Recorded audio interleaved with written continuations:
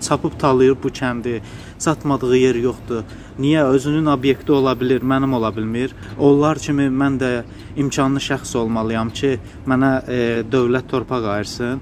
Bilmirəm, siz süz prezident yoxsa Cəlilabad Nocalı kənd bələdiyyəsi Natiq Ağayev və yaxud da Elçin Zamanov. Bunlardır kənd səvəti Elçin Zamanov. Cəlilabadda məmur özbaşınalığı sərhəd tanımır. Rəhbərsiz qalan rayonda hər kəs artıq özünü ağa hesab edir. Başçı mavinindən tutmuş bələdiyyə sədrinə qədər bütün məmurlar burada mən Bağdadda kör xəlifə deyib vətəndaşa qanı dururlar. Daha onları şəhid ailələri, qazi, veteran düşündürmür. Cibimdə olsun prinsipi əsas götürülür.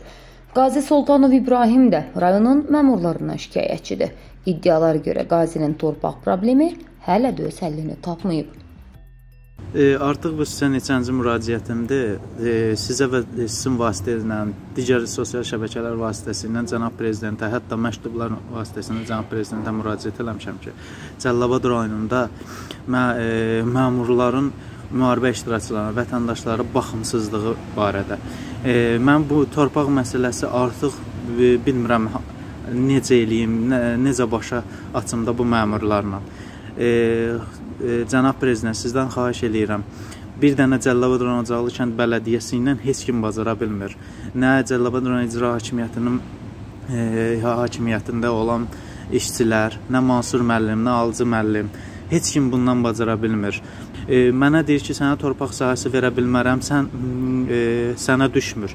E, niyə? Çünki oradan yüksək gərginlik tok xətti keçir, amma faktiki olaraq orada 5-6 dənə obyekt var, həminki xəttin altında. Cənab prezident, xahiş edirəm, məni qəbul eləyin. Mən bu məmurun özbaşınalığı haqqında sizə çatdırım. Axı mən sizin bir əmrinizlə getdim, vuruşdum. Lazım gələrsə Zəngəzur İrəvan məsələsi deyirsiniz, gedib yenə də vuruşacam. Bəs Mən məndə bu vətən eşqin bunlar niyə söndürür ki? Belə şey olar. Xahiş edirəm Cəlilabad Nozalı kənd bələdiyyəsi Natiq Ağayev və Kənd və Elçin Zamanov haqqında siz tədbir görəsiz. Çox qəribədir. Ermənidən torpaq alan oğullar indi məmurlardan haqqı olanı ala bilmirlər. İnanır ki, məsələ aidiyyatı orqanlara çatdı və həll istiqamətində müəyyən addımlar atılacaq.